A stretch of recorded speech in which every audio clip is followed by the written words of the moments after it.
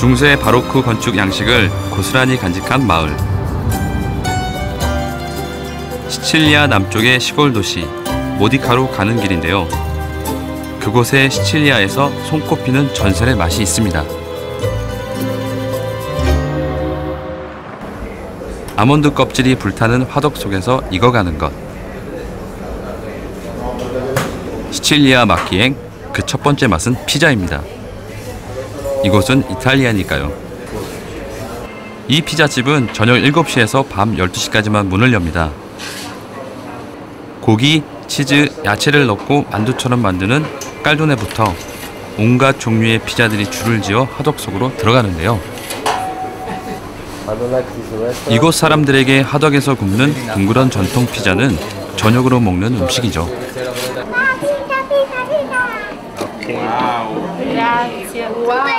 피자에 열광하는 건 시칠리아 소년도 마찬가지입니다. 이 피자 반죽은 돼지 기름과 천일염을 넣어 24시간 숙성시킨 것입니다.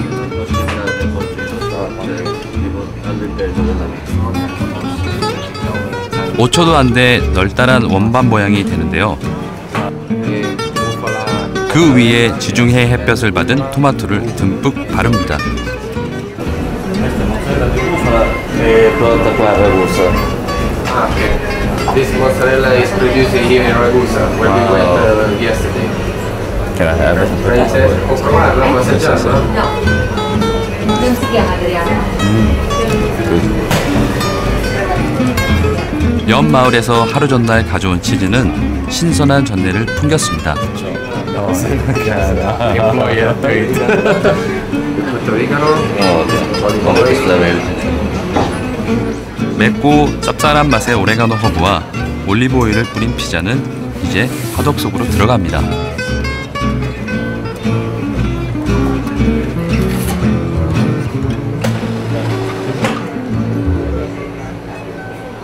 What is this? Che cos'è questo qua? Questa è è la...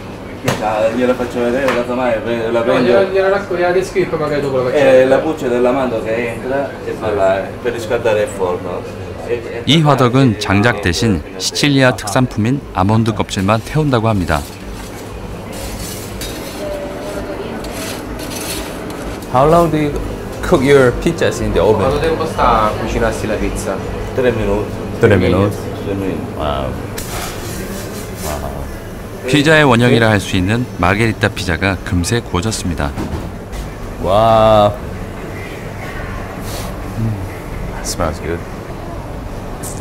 여기에 돼지 앞다리를 소금에 절인 프로슈토, 신선한 토마토, 그리고 허브의 왕이라 불리는 바지를 얹으면 완성됩니다.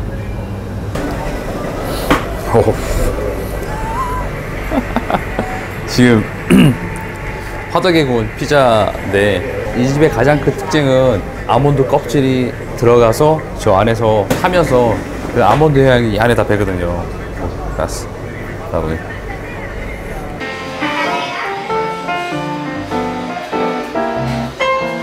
이 피자집에는 또 하나의 볼거리가 있는데요. 작은 시골 도시에 있는 이 피자집은 공간이 미로처럼 연결돼 있습니다. 옆집을 하나 둘씩 터서 식당을 늘렸기 때문인데요. 시칠리아 피자의 역사를 눈으로 맛보는 듯한 기분이었습니다.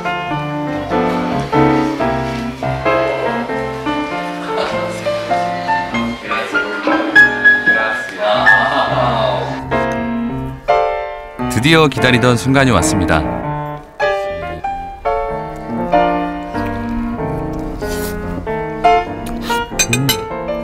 화덕에 구운 피자라서 그 뭐라고 그래야지? 그 화덕 피자의 특유한 맛이 있거든요. 좀 약간 탄 듯하면서 약간 스모크 맛이라고 해야 되나? 그 맛이 정말 나고 그다음에 아까 버팔로 피자를 엄청 많이 드셨어요. 그리고 토마토 이 지역에서 나온 토마토 드셨는데 진짜 여기 보시면 아시겠지만 물이 막 흐를 정도로 지금 거세요.